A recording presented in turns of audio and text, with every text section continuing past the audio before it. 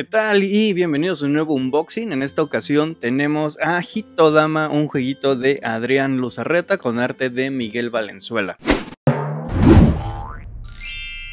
Primero que nada quiero decir que esta copia llega a nuestras manos gracias a Lighthouse Games para que podamos mostrarles el que hay dentro de la cajita de Hitodama y rápidamente vamos a darle vuelta y pues en Hitodama vamos a tomar el rol de diferentes animalitos que vamos a estar moviéndonos en el bosque tratando de conseguir recursos, también vamos a tratar de detener los ataques de un monstruo de nieve que va a estar tratando de congelar el bosque. Entonces el arte es muy bonito, es un juego de colocación de trabajadores con aspectos semi cooperativos. Esta edición es la edición especial, entonces vamos a ver qué hay dentro de la caja.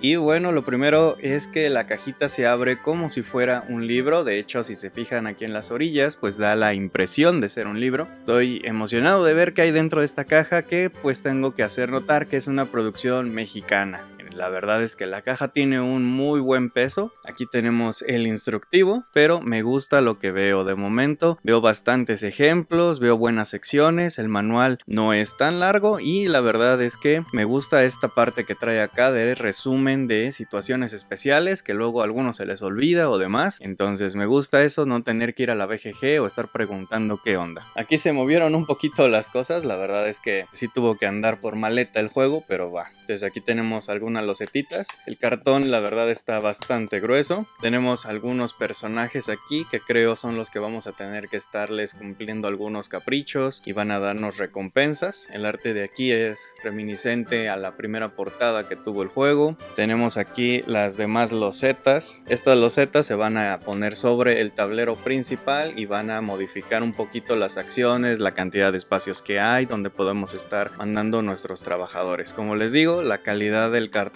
pues sí es bastante, bastante buena, está bastante gruesecito. Aquí hay algunos tableros de jugadores que tenemos más por acá, donde vas a poner tus recursos y también tus trabajadores. Estas cositas de acá son de los Sakus y este es el tablerito del monstruo de las nieves. Aquí vamos a estar marcando algunas rondas y el progreso mismo de nosotros y tratando de que pues no se vayan congelando las zonas. Tenemos varias cartas que ahorita se las enseño. Tenemos esta moneda que es el token de primer jugador, la verdad tiene muy buen peso y pues la verdad el detallito está muy padre. Si mal no recuerdo el indicador de norte tiene algo que ver también en el juego. Vamos a quitar esta espuma de lado y vamos a mostrar el mapa. Ahorita este playmat es el tablero. Sobre este lugar van a ir las diferentes losetas. Aquí vienen algunos iconitos y los vamos a estar armando. La verdad me gusta mucho. La impresión es muy buena. Tiene este foil que si alcanzan a ver es la elección de Kickstarter. El playmat está un tantito delgado pero nada del otro mundo. Si ya conocen cómo son los playmats, la verdad es que no decepciona nada. Y pues ahora sí vamos a ver los componentes. La caja tiene su fondo también ilustrado y la voy a hacer a un ladito para poder mostrar los componentes de mejor forma.